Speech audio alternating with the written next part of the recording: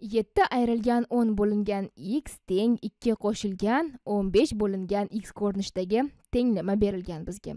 Ko'raylikchi siz uni mustaqil ravishda ishlay olasizmi? Men o'zingizni sinab ko'rishingiz uchun ozgina vaqt beraman hozir. Albatta bu tenglama biz ko'rishga o'rgangan tenglama emas chunki uning mahrajida xlar bor va bu bizni ozgina xavotirga solishi mumkin. Chunki bu meni ham xavotirga solyapti. Endi biz o'n taqsim x ni qanday qilib o'nga aylantiramiz? Qanday qilib mahrajsiz songa aylantirishimiz mumkin? Albatta x ga ko'paytirib shunda nafaqat o'n taqsim x ni balki tenglamamizning chap va o'ng taraflarini x ga ko'paytirib olsak bo'ladi. Demak bu tarafni ko'paytiramiz x ga o'ng tarafni ham ko'paytiramiz x ga shunda endi qavsning ichidagi ifodaning har bir hadini x ga ko'paytirib olishimiz kerak. Tenglamamizni saqlab qolish uchun. Alohida 7 ga ko'paytiramiz bu yerdagi x ni va alohida 10 taqsim x ga ko'paytiramiz.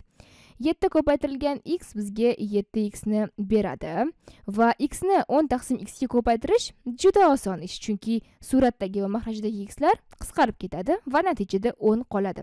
7x ayrilgan 10 teng bo'ladi. Bu yerdagi x ni ham alohida har bir xatga ko'paytirib olamiz. 2x qo'shilgan o'n besh taqsim x ko'paytirilgan x shunchaki o'n beshni beradi. ikki x qo'shilgan o'n besh. Ana endi biz odatda ishlaydigan tenglamalarning ko'rinishiga keltirib oldik bu tenglamamizni ham. Endi bu yerdagi xlarni bir tarafga sonli hadlarni boshqa tarafga yig'ib olsak ham bo'ladi. Keling xli hadlarni chap tarafga yig'ib olamiz. Shunda chap tarafda sonli hadlar qolmasligini istayapmiz. Shunda chap tarafga qo'shamiz o'nni. Minus 10 qo'shilgan 10 0 ga teng bo'lib qoladi. Shunda chap tarafda faqat 7x ning o'zi qoladi. 7x va bu tarafga 10 ni qo'shdikmi? Demak o'ng tarafga ham 10 ni qo'shib qo'yamiz. Qo'shilgan 10 shunda o'ng va chap taraflarda nimalar hosil bo'lyapti? Ko'ramiz. Bu yerda 7x ning o'zi qoldi. Minus 10 qo'shilgan 10 0 ni beradi. Uni yozib o'tirish shart emas. 7x teng bo'ldi. Ikki x qo'shilgan o'n beshga o'nni qo'shsak yigirma besh hosil bo'ladi. Yigirma besh.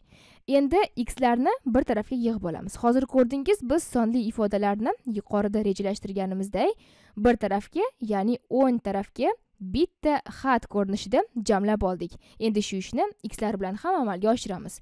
Shunda o'ng tarafdan xli xatlarni olib tashlaymiz. Ya'ni ayiramiz ikki xni. Bu yerdan 2x ni ayiramiz. Shunda chap tarafdan ham ayirib qo'yishimiz kerak. Endi chap va o'ng taraflarda nimalar qoldi? Ko'ramiz. 7x dan 2x ni ayirsak 5x qoladi. 5x teng bo'ladi. 2x dan ayiramiz 2x ni 0 0 qo'shilgan 25 yigirma besh. Shunda ximiz nimaga teng bo'lyapti? Qaysi sonni beshga ko'paytirsak yigirma besh hosil bo'ladi. Albatta 5 ni. shunda ximiz teng bo'ldi. Beshga. Ana endi bu natijamiz to'g'ri yoki noto'g'riligini tekshirib olish uchun biz dastlabki tenglamamizdagi xlarning o'rniga mana shu natijamizni qo'yib tekshirib olamiz.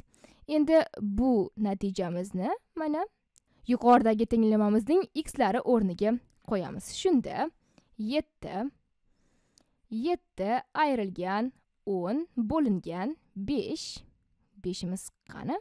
Mana bu yerda besh teng bo'ladi. Teng ikki qo'shilgan ikki qo'shilgan o'n besh bo'lingan besh. Bo'lingan yashil rangda besh ya'ni natijamizni xlarning o'rniga qo'yib olyapmiz.